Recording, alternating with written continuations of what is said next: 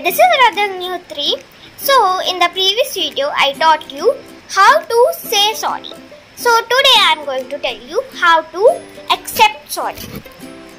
First, never mind. Second, it doesn't matter.